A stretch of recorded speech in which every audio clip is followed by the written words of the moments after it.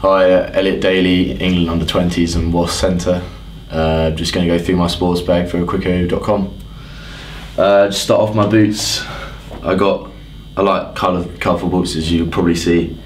Uh, got an orange pair here, adiZeros for moulds, and I got a pair of RS7s, red ones, just so I stand out a little bit.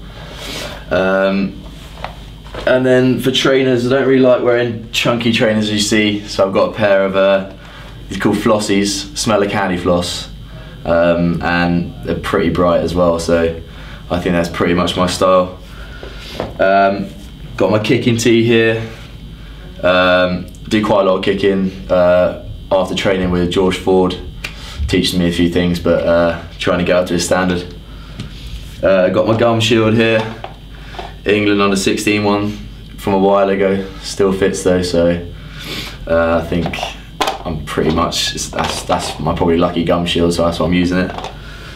Uh, got my shaker just in case Simon um, wants to give us anything extra after training, like Recovermax or anything like that. Uh, just in case. Um, got my notepad as well, just in case we do any moves, extra moves that we can just write down straight after training, or if we've got gaps in training, just to look back and just refresh your memory because we've got quite a lot of moves and uh, set plays. So make sure you keep up with that. Um, got the vest just to get the guns out really. Um, not many people wear it, but if you got as big as guns as me, I think you probably have to wear it. Um, got my uh, shoulder pads here.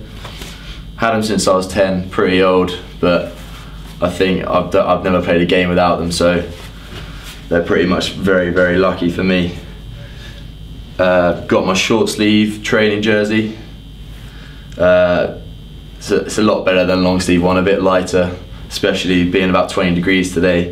It was pretty hot training. Uh, got my shorts as well. Tried to get the smallest pair possible, but got a large. Missed out on the mediums, but that's a bit unlucky. Uh, socks as well, and uh, got a Under Armour Nike Pro, just to. Um, I always wear them, never not worn them, so um, always wear them and never play without them. And I got a bottle of water as well. Always stay hydrated. Um, and yeah, that's what's in my sports bag.